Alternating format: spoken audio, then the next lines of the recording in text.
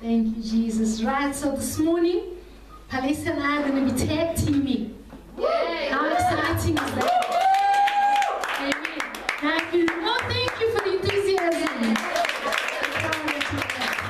Not for me, right, but for the word. You're hungry for the word. Amen. You're hungry to receive of the word of the Lord. Amen. Thank you, Jesus. Now, if you remember, we were doing the series on the seven spirits of God. Remember that? Yes. We were doing our series on the seven spirits of God. Can I get Isaiah 11 2 very quickly, please? While that is happening, I've been reminded by Pastor Liesel to welcome our onliners. So, onliners, welcome Bianca if you're watching from China. Hello today, God bless you. And to all the other people who will watch this on replay or going to join us live, thank you for joining us. God bless you. Amen. Right, can I get Isaiah 11 2 up? Are we up? Right. So today we're coming to conclusion, our series on the seven spirits of God. And these are the seven spirits, right? The spirit of the Lord, amen? Amen. The spirit of wisdom, Yes. the spirit of understanding, Yes. the spirit of counsel, spirit of power, which means today we're going to do two, right? We're going to do the spirit of knowledge and the spirit of the fear of the Lord. Amen. Amen. So you're going to be very busy, and the teacher's with me today. So you're going to be taught, you're going to be preached at, you're going to be whatever at, right? Amen. I'm going to briefly start with an introduction to the spirit of knowledge before I give over to Palisa. And in your listening to this, in your listening to this teaching on the spirit of knowledge, I want to ask you one question that I'm going to give over to her, right? How much of our walk as believers is defined by our gifts? Or how much of our walk as believers is defined by our spiritual knowledge, or rather, knowledge of the Spirit? Think carefully. Or let me rephrase let me make it personal. How much of your life as a believer do you define by your gifts? I've got a gift of wisdom. I've got a gift of prophecy. I've got a gift of helps. I've got a gift of this. I've got a gift of that. And how much of your walk is defined by the knowledge of the Lord? Are we together? And that's where I'm stopping. Over to you. Amen. Amen. Um, let me start with definitions of what um, what these two words or phrases mean: the knowledge and the spirit, uh, or the fear of the of the spirit of God, of the Lord. So knowledge is um, I looked it up.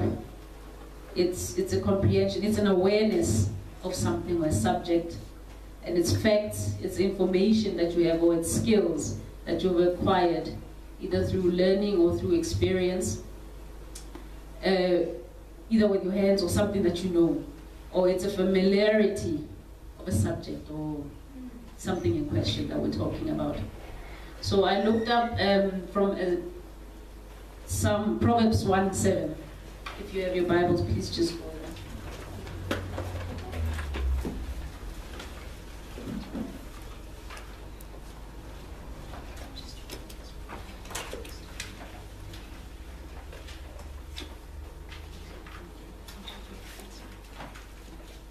All right, are we all there? Yes, amen. All right. It says the fear of the Lord is the beginning of knowledge. So do you see how they are connected? But then it goes actually a little bit further because with, with Isaiah 11, it's, it speaks about the seven spirits of God, right? So now how are these all connected to each other? How do we, as believers, you know, uh, get to experience or, or live out uh, these seven spirits of God? So I found the answer in Colossians chapter 1. Please just turn to Colossians chapter 1 and underline these and make notes in your Bible. I just want to see pens moving and stuff clicking and, you know, let's see. Colossians is, is in the New Testament. After those eight potato chips. After Philippians.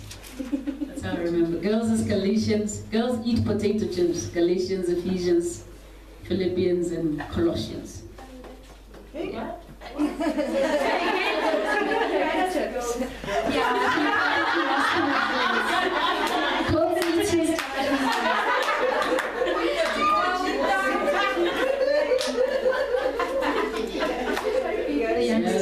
we need some deliverance. This, this should come with like an R rated because I can see the under 20s. They're just all looking nervous.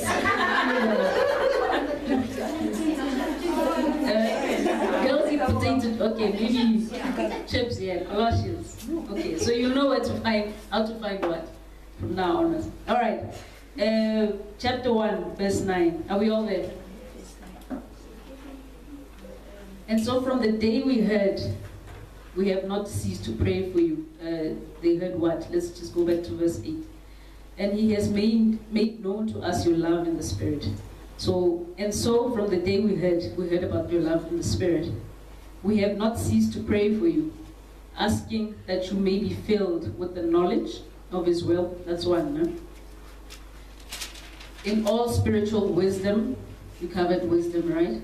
And understanding, we did understanding, right? Mm-hmm. And so as to walk in a manner worthy of the Lord. What does that mean? That is now where the, the fear of the Lord comes in. That's what it means. To walk in a, in a manner that is worthy of God. We'll also discuss what that means or what it does not mean. If you don't understand what it means, then I will flip to the other side and show you what it does not mean so you can understand how you should walk in a, in a way that is, in a manner that is worthy of the Lord. Fully pleasing to Him, bearing fruit in every good work, and increasing in the knowledge of God. Amen. Amen. Amen. So, knowledge, uh, not all knowledge is good, right? Let's let me take you back to the Garden of Eden. I believe everything starts and it will end in the garden. What happened in the garden? What what did, well, what caused the fall? Do you guys know? The tree, knowledge. the tree of knowledge. Just say it again. The tree of good and evil. The tree of knowledge of good and evil. So it's the tree of knowledge of good and evil. It's not the tree of knowledge. Get it right. It's not the tree of knowledge. It's the tree of the knowledge of good and evil. Right? So um, if we read it, let's let's flip to Genesis. Genesis at the beginning. It's the very first book. It's, yeah, it's Gens. Let's, let's, let's not say girls anymore. Yeah, I'm not sure now. yeah, it's lots of girls. lots of gents. Are live, no? Sure, there's no rewind. there. Oh my.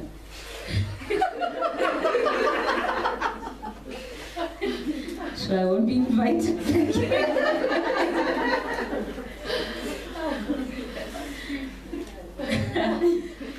All right, let's see what happened here. Uh, let's start with chapter 3. Now the serpent was more crafty than any other beast of the field. Stay with me. This is this is all connected, okay? With the fear of the Lord and you know and the servant spirit and knowledge. Please stay with me. The servant, serpent was more crafty than any other beast of the field that the Lord God had made. He said to the woman, Did God actually say in his, you know, slithery, slimy voice or whatever, You shall not eat of any tree of the, in the garden? And the woman said to the serpent, We may eat of the fruit of the trees in the garden, but God said, You shall not eat of the fruit of the, of the tree that is in the midst of the garden, neither shall you touch it, lest you die.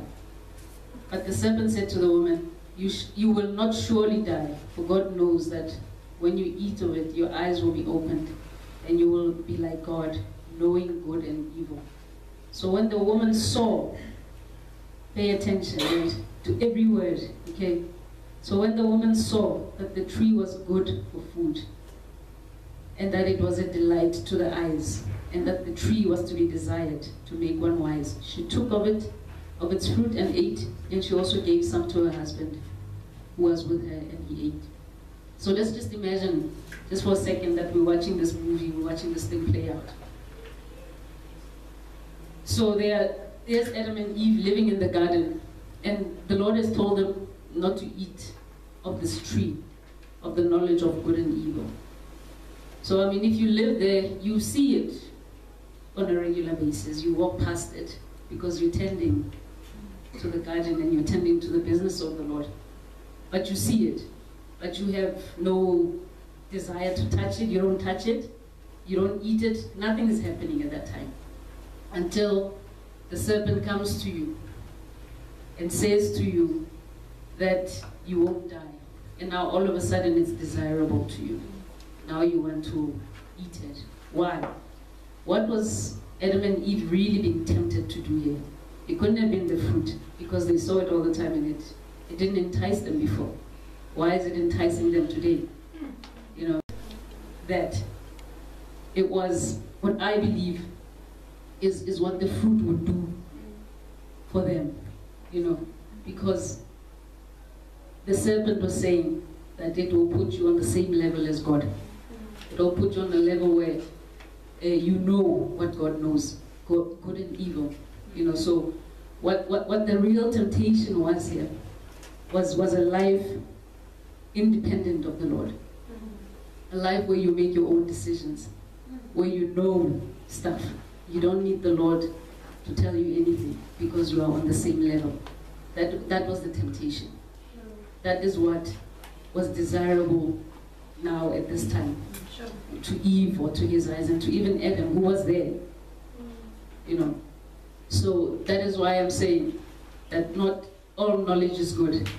But then if you look at, at, at what Solomon asked for, Solomon asked, on the surface, he, asked for the very same thing. He wanted to know if would be able to discern between good and evil. That's what he asked for. Uh, when, when he prayed, when he was still young, when he, he just made king. On the surface, it looks the same. But what, what Solomon asked for was, if you read it carefully, he asked for the spirit of knowledge. He didn't ask for knowledge. He asked for the spirit of knowledge. So the, the, the, therein lies the two differences. With the spirit of knowledge, you are under Holy Spirit. You are under God.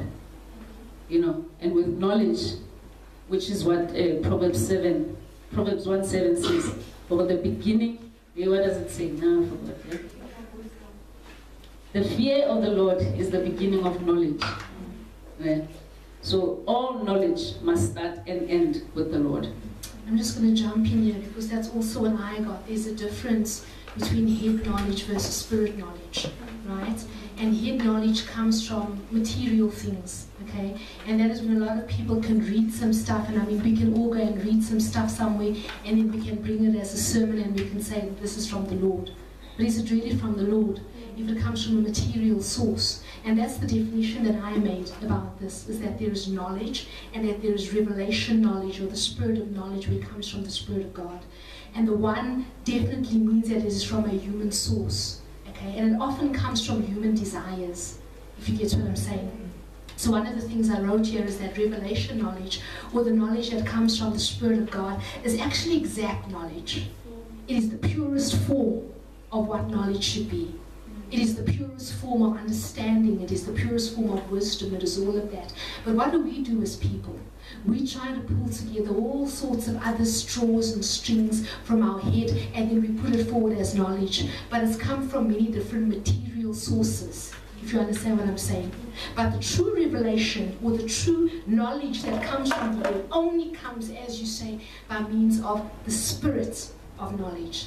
And I've also got a definition. I just, um, Danny, if you could just put up for me, please, um, Ephesians 3 7, 17 to 19, then we'll get back to, to what he is teaching on. Um, Ephesians 3, in fact, just give me verse 18, um, I think it is. Right, it says, uh, okay, no, the next one is verse 19. And I just want to do a quick demonstration. And to know this love that surpasses knowledge. Okay, look at that scripture. To know the love of Christ that surpasses knowledge. Now, in this regard, there is a difference between the two words. Okay, the knowledge that has been spoken on here is the knowledge that you can understand. right? The knowledge that you can comprehend. But the knowledge of, of, of who Jesus is in the scripture is a different kind of knowing. And I went into the Greek to look at this. Um, and the, the Greek in the scripture comes from the word gnosko, and knowledge comes from the word gnosis, right? And gnosko actually means revelation. Right. So it's the purer form of even understanding the things of the love of God. And I wrote it that it's absolute. So the word know there actually means to know absolutely beyond human understanding the love of Jesus Christ. But now when I simplify that word knowledge to that second word knowledge, I've taken it a step further than just looking at it as, as head knowledge or material. I've taken it to the point of religion.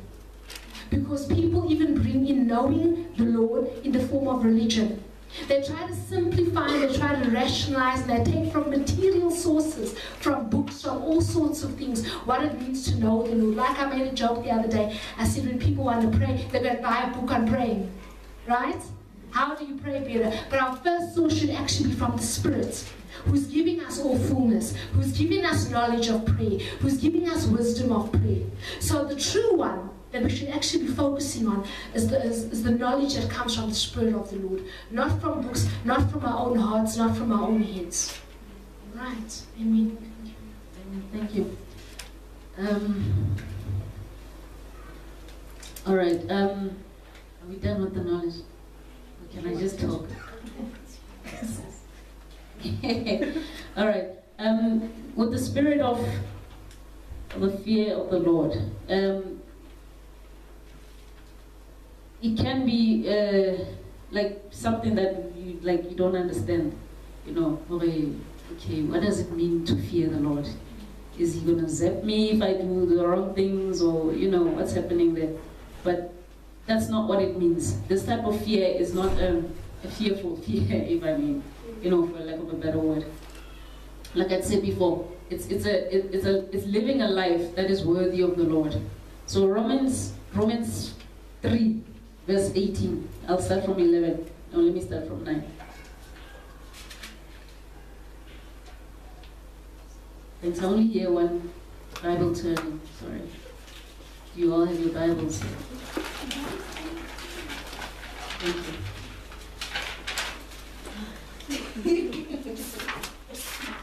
we all have Bibles. Sorry, let me ask that.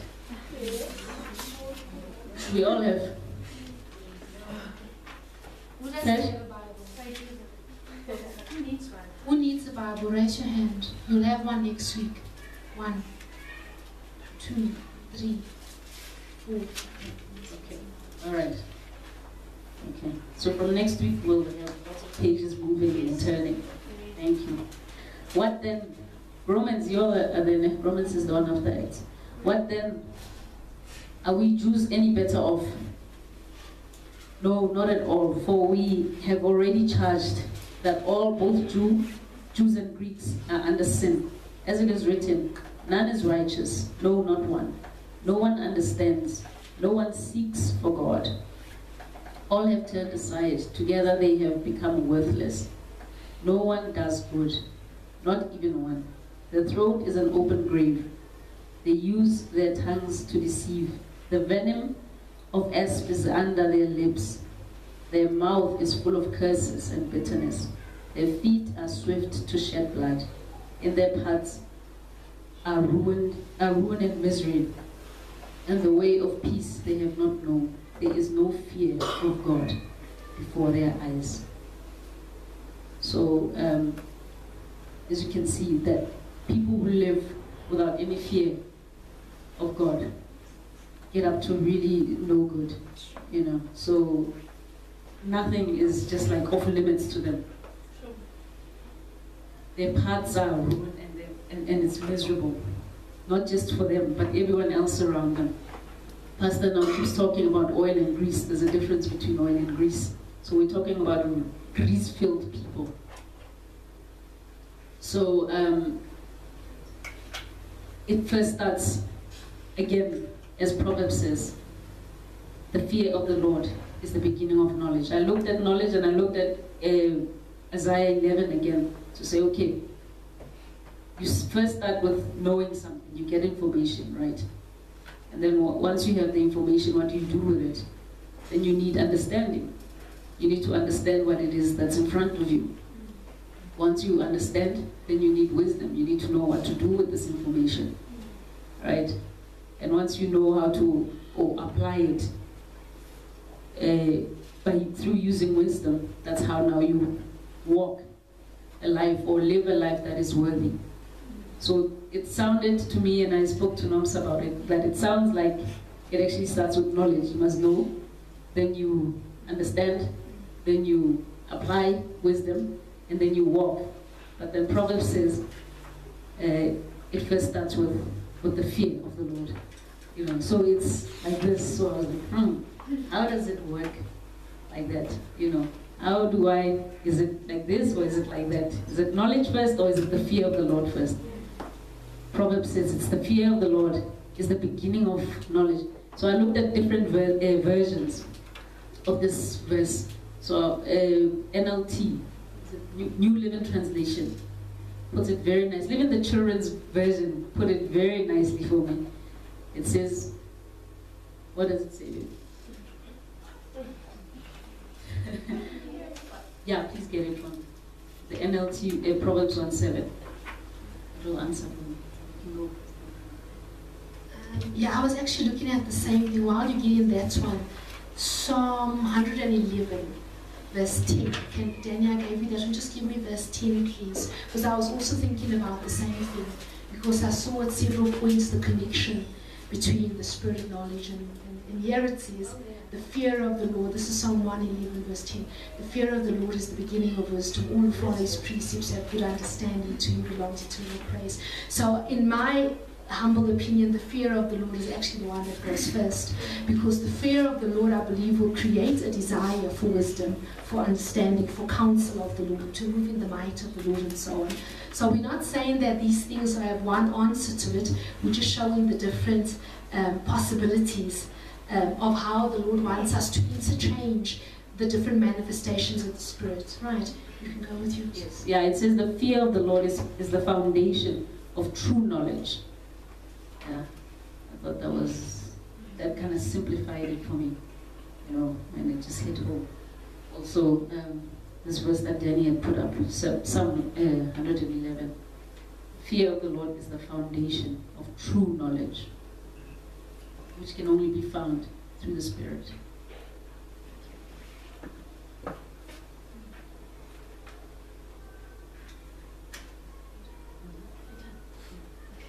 I just want to add on to that. I did my research, you know, it's a little bit different, clearly, from, from the teacher. Mine is a bit more fear of the Lord. That sounds scary. Yes, it should be scary. and I actually got that the spirit, the fear of, the spirit of the fear of the Lord is the spirit of reverence. Okay? And what does it mean when, when reverence comes upon the people? It means that things change. It means that things were rowdy, things were disorderly, and then all of a sudden things get a little bit quiet. Because to fear the Lord means to revere the Lord. What does it mean to revere the Lord? It means to be in awe of the Lord. What does it mean to be in awe of the Lord? It means to be amazed by the Lord. So I believe that when the spirit of the fear of the Lord comes upon people or comes upon a house, things change. There's a different kind of anointing that falls, and that anointing that falls often brings discipline. Listen carefully now. The spirit of reverence, or the spirit of the fear of the Lord, when that falls, often brings a different anointing, and that anointing often brings discipline. And I'll demonstrate this to you by some of the tongues messages that have fallen on this house. Sometimes it's a tongues message that falls, we all go quiet, but you can hear by the tone of it that it's uplifting mm. right? And you can hear by the tone of it that this is going to be something encouraging. But then there's that one that happens every now and again. And when that tongue's message comes on the house, you're quiet and you hear there's a diff- different kind of authority that falls, and you know that there's a rebuke behind that tongue's message. You know what I'm talking about? Have you all experienced that? And that is for me the easiest understanding of when the spirit of the fear of the Lord calls. And usually a tongue's message like that will be something like, you need to get y'all's lives in order, you need to pray you need to be more steadfast, you need to put aside this foolishness or whatever. And sometimes, like what happened maybe a few minutes earlier when I was talking about leadership, that could actually also be traced back to the fear of the Lord. because the Lord is saying that we need to get back into that place of order and that place of discipline. We've forgotten how to do things properly.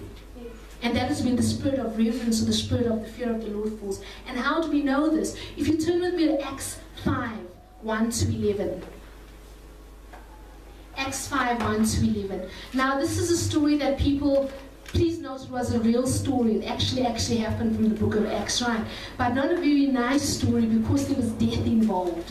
Right, listen to this. Now, a man named Ananias, together with his wife uh, Sapphira, also sold a piece of property. Now, this is at the time when people were selling their stuff to give to the works of the apostles. They were selling their stuff to live together, to support each other, right?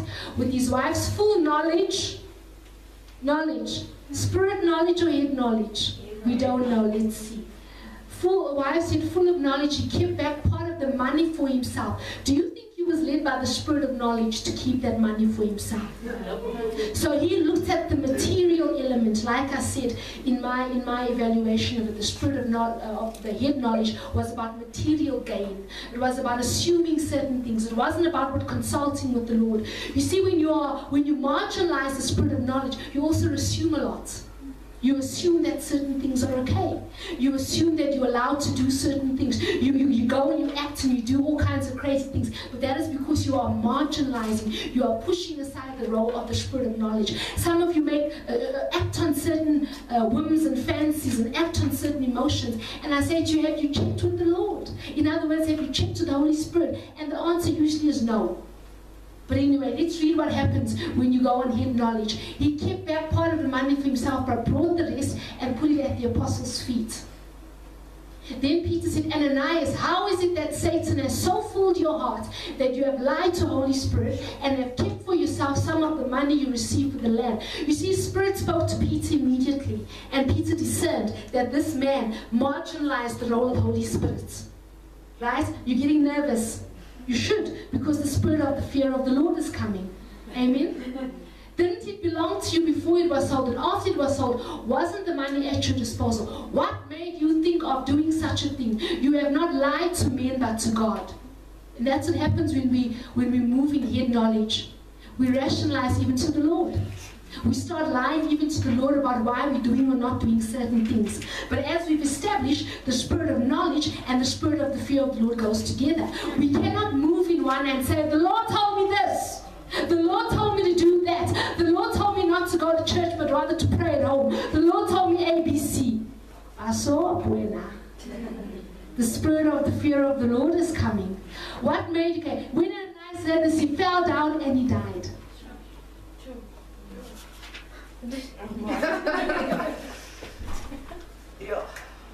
I'll read that again. When Ananias heard this, he fell down and he died. What happened? He tried to put forth to the apostles as a form of truth what he had worked out in his own head as head knowledge, where he put the spirit aside. But oh, when the spirit shows up. Oh, when the spirit shows up.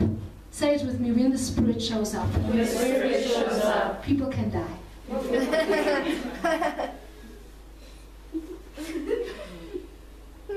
can die. If you mock, if you mock, if you mock the Spirit of the Lord, you might not die in body, but you can certainly die in soul. You can be tormented with all sorts of funny things. You can be restless. You can be agitated. You can be anxious. You can be emotional. You can be angry. You can be all sorts of things. That is because there's no place in the same temple for spirits, big spirits, and small spirits. Big knowledge and small knowledge. Amen. And he died. A great fear seized all who had heard what had happened. What fear was that? The fear of the Lord. Were the people afraid because Ananias died? No, people die all the time. People died because of the lesson. I mean, people were fearful because of the lesson that came upon them. And all came upon them. A reverence of what? Of the power of God came upon them. What they saw was not that a man died. What they saw was the power of the Lord. Can I get an amen? Yes. What they saw was the power of the Lord. And as the power of the Lord hit, a fear came upon them that made them bow their heads in reverence of the Lord. And I can tell you what this generation needs more of the spirit of the fear of the Lord moving. because we have lost our reverence. We have lost our awe of the Lord. We, when the power of the Lord is moving in this place, people are rustling around, filing through chairs, busy on their cell phones, making jokes. But the power of the Lord is active here. During ministry time, the Lord is moving in power, and we decide, no, we're going to WhatsApp. We're going to go outside and do whatever it is we do when we're there. What has happened to the fear of the Lord? What has happened to us moving in partnership with the spirit of the fear of the Lord? Have we become so full of ourselves that we've marginalized even that manifestation of Holy Spirit? Why? Because we are meant to be in reverence of the Lord. Because when you are in reverence with the Lord, you get knowledge. When you are in reverence with the Lord, you get wisdom. When you are in reverence with the Lord, you get counsel. When you are in reverence with the Lord, you get understanding. People come in here late sometimes and they make a big noise while the Lord is moving in power. That's not me you're disrespecting. That's the Spirit of the Lord is moving in power that you're disrespecting. During the message, if you get up and march up and down and do all sorts of funny things, I don't mind. Like I said, I'm like you, a recovering sinner. Amen. But what I do mind is that the Spirit of the Lord is disrespected. And this is what happens when the Spirit of the fear of the Lord comes upon a people. They know that they are meant to live here. They are meant to be in awe that you're talking about. This is God moving in your place. Amen. Hallelujah. The young man came forward, wrapped up his body, and carried him out and buried him. No mess, no fuss. Amen. Move on. About three hours later, his wife came in, not knowing. Not knowing. Of course, she didn't know, because she was busy in her head with all sorts of other things. She didn't get the knowing of the spirit of knowing, the spirit of uh, revelation that would have come upon her. Not knowing what had happened, Peter asked her, Tell me, is this the price you and Ananias got for the land? And she lied. Yes, she said, that is the price. Peter said to her, How could you agree to test the Spirit of the Lord? How could you agree? Why? Because the Spirit of the Lord is the Spirit that moves in power. Remember, we established that the Spirit of the Lord is the one that can actually pick you up and take you places. And the very same Spirit of the Lord is the one that can strike you down. It's not about me as Peter. Yes? It's not about me as Peter. I don't want you to sing for me. I don't want you to be quiet for me. I don't want you to put away your cell phones for a few hours for me. Stop getting up and walking up and down for me, please. Who am I? And like Peter said, it's not for me. It's for the Spirit of the Lord that is moving in this place.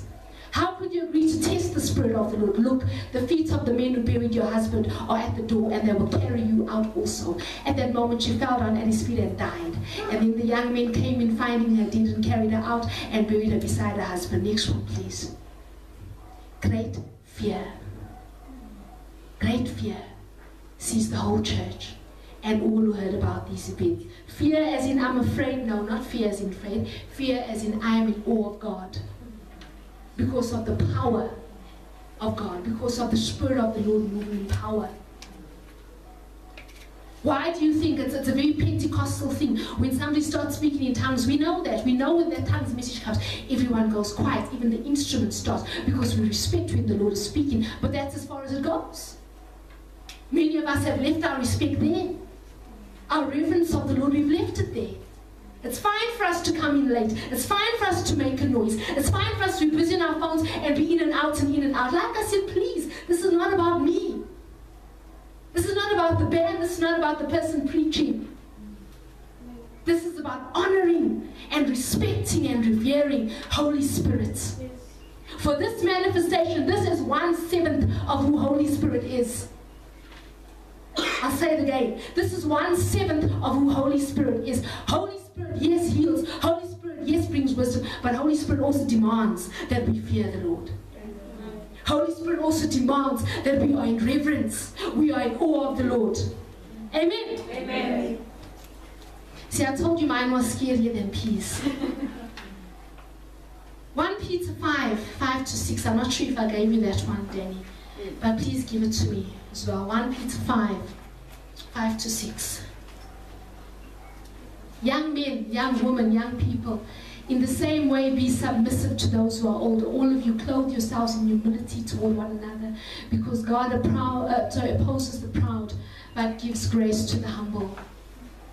Humble yourselves, therefore, under God's mighty hand under God's mighty hand. That is something that you should be in awe of. You should be in awe of God's hand. You should be in awe of the might. In other words, you should be in awe of the Spirit of the Lord. Why? Because the Spirit of the Lord is also the Spirit of might. Which means that when he's talking about God's mighty hand, he's actually talking about Holy Spirit. Yes. And what is he saying here? He's saying that when we submit ourselves to the Lord, humility will be produced. In other words, when we forget about our pride, I want to send a text message now. I want to send a WhatsApp. I am going outside now. I am going to be late. I am going to, whatever it is that you told yourself you're going to do, you will not be lifted up in due time. You will not be lifted up in due time if you do not humble yourself to the power of God. You will not be lifted up in due time if you not just respect the two hours, three hours, four hours, all day long, if we are here for all day long, when the Spirit of the Lord is moving. Amen. If you cannot sit in your seat and acknowledge the awesome power of God, then you will stay where you are at. Greasy. Greasy. And not moving in the anointing. You see, when the Lord lifts you up, He doesn't just lift you up into different positions, He lifts you up to the throne. He lifts you up closer to where He is at. And as such, you are then able to receive more of Him because of the closeness. So the Spirit of the Lord is a bit scary, but not in scary as in afraid, because it demands respect of who God is. Now, I want to close with this. Do you have anything else to say? Yes. Okay. Yeah. Just um, also a response on, on on the spirit of the fear of the Lord from Isaiah, when in chapter. Danny, can you just put this up? I know I didn't give you any any verses. Uh, Isaiah six. Start from one. We'll just look at what what Isaiah's response was to the spirit of, of the Lord. In the year that King Uzziah died, I saw the Lord seated on a throne, high and exalted, and the train of his robe filled the temple. Above him were seraphims, each with six wings. With two wings they covered their faces, with two they covered their feet, and with two they were flying, and they were calling to one another, Holy, holy, holy is the Lord Almighty. The whole earth is full of his glory. At the sound of their voices, the doorposts and thresholds shook, and the temple was filled with smoke. So now do you see what his response was? Was woe to me. You know, so he he was humble enough and the fear of the Lord took over at this point in time when he said, Woe to me. And he, and I cried, I am ruined, for I am a man of unclean lips. Because now this forced him to have a look at himself and, and to and to repent. So it calls us to a, a place of repentance. Because he now he looked at himself and he said, I'm not clean. Even where I come from. You know, and I live among people of unclean lips, so I'm unclean. Where I come from is unclean. And, I, and my eyes have seen the King, the Lord Almighty. So right now, at this time, when the spirit of the fear of the Lord comes upon you, our our our reaction to it should be one of, of repentance. To say, Lord, I repent from wanting to take control of my own life, wanting my own understanding to go forward, my own knowledge, my own counsel, you know, my own might, my own fruits of whatever I'm producing. I want that to go before. I, I didn't listen to the Spirit.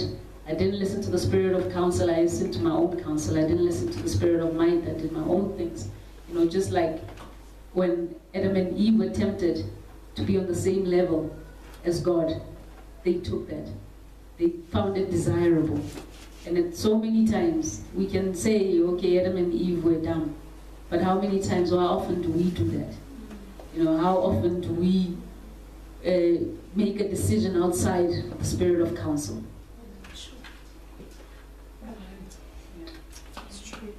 It's really good. And once again, we can take it to other areas of, our lives too. The just obedience that comes from moving in partnership with the Holy Spirit. I'm thinking now of examples whereby, you know, the word of the Lord goes out and say, if you're sick in stomach, come to the front. You've got a stomach, you should come to the front. Yeah. And then people will first delay. And they'll fiddle and they'll decide and they'll negotiate. If we fear the Lord and if we fear the power of the Lord, we'll run to the front. That's how it should work. And I didn't understand Apostle Maldonado. I always looked at him and you, I, I watch him, been watching him lately, and I actually got nervous sometimes because, uh, like, there was this thing we were watching last week, and he's got, he called his ministers up. He wasn't ministering over the people. And he, he called his ministers up, all his leaders and stuff, and he said, Okay, prophesy over the people. And they started laying hands. He said, I didn't say lay hands, I said prophesy. It wasn't about Apostle Maldonado. The Spirit of the Lord gave direction to him to tell the ministers to prophesy. And out of not fearing the Lord, now we decide we're going to lay hands. If I say people who have, have suffering with headaches come up, and then someone with a stomach ache comes up, how does that work? The Spirit of the Lord said there's anointing for headaches. Are you going to go outside of that and rebel against the Spirit of the Lord? We're supposed to be in fear of the Lord. Fear of the awesomeness of the Lord. Fear of the awesome power of the Lord. Not doing, as you say, what we want to do. And this is the problem with this generation. I mean, in my closing, I just want to give you Revelations 5 6. When, when I started the series, I started off looking at, at all the scriptures in Revelations where the seven spirits of God before the throne of God are mentioned. And I, I stopped short of, of reading this to the full then I saw a lamb looking as if he had been saying, standing in the center of the throne, encircled by four living creatures. Remember in session one, we spoke at length about the seven horns and the seven eyes, which are the seven spirits of God. But I stopped here, which are sent out into all the earth. Mm. The seven spirits of God, right now as we speak, are moving over the earth. Why? Because the seven spirits of God are manifest inside of you the seven spirits of God are manifesting in different, in different ways as the Lord commands. So to close off the series, there is no reason for any of you to say, I don't know what to do, I'm confused. I don't have counsel. I don't have wisdom. I don't understand this. You see, the spirit of knowledge, one of the things I wrote, the spirit of knowledge is a teacher. And the spirit of knowledge will teach you the scriptures, for example. So if you're sitting down and reading scriptures from knowledge, as in small k, as in human knowledge, obviously you won't get anywhere. But why should you struggle when the Spirit of the Lord is moving across the earth? Why should you sit there not understanding the scriptures when the Spirit of knowledge who teaches you about the scriptures is available to you?